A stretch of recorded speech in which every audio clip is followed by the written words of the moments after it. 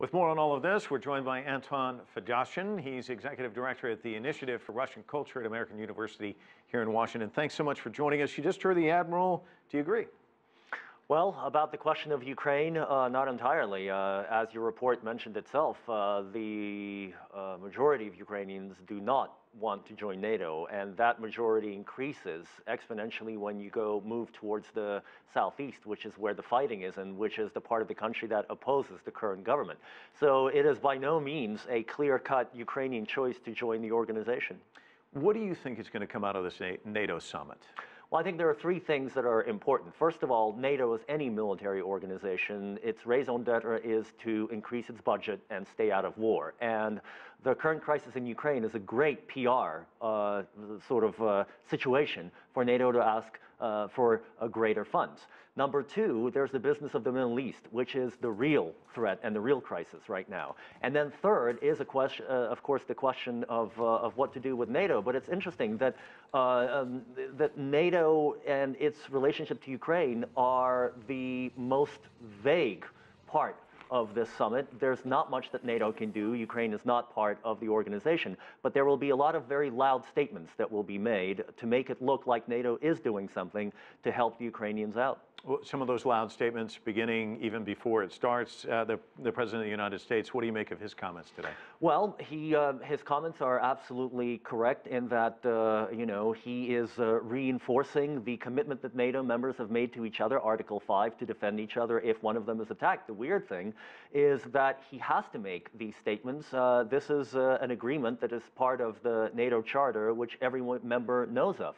Um, the context for all of this is the request by the Baltic countries to have bases opened on their territory. And I have a feeling that the, um, the president's statement is a way to allay their fears, but a way to pad the disappointment that may be coming, and that will be that NATO bases will not actually open up on uh, Baltic territory, but we'll see. There's these accusations that the Russians have sent troops into Ukraine. There's now talk that uh, NATO may have exercises mm-hmm. inside mm -hmm. Ukraine. Uh, there's ratcheting up of sanctions, ratcheting up of the rhetoric. Uh, no one seems to be looking for an off ramp to try and stop this thing. Where do you see it going? Well, so far, the only, uh, uh, the only plan that has been tabled has come from Moscow, the, the seven, seven point plan that your uh, journalist mentioned uh, a second ago. The Ukrainians are still working on their plan, but they're supposed to be completed by the end of this week or next week.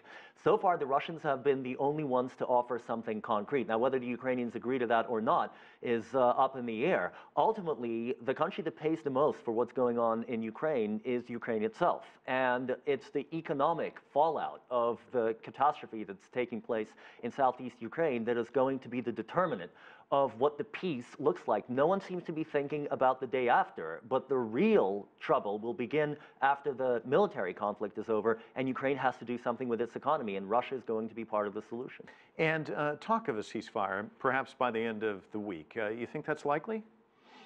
We'll see. It's, I, would be lying to you, Mike, if I told you that I knew how to answer that question. That depends on what the decision in Ukraine is going to be. The decision is not going to be made until the summit is over but the, because the Ukrainians are waiting to see what NATO will promise them. I don't think that's going to be terribly much. And I think that by the beginning of next week, we will see the first uh, moderate step towards um, uh, a peace plan. But what that's going to look like, no one knows. And as you mentioned, uh, and it's worth repeating, uh, it's painful right now. There's fighting going on, but you suspect the pain increases once the fighting ends. I mean, is this this is a, a country uh, that's racked with a really difficult it will, it economic be, situation. It will be much worse. I think the West is making a very dangerous mistake in taking the current war as the cause of Ukraine's troubles, as opposed to a symptom of what is already there. There are deep structural economic problems, and what goes underreported in the West, for example, is that about 10 days ago, the Minister of Economic Development resigned, the head of the anti-corruption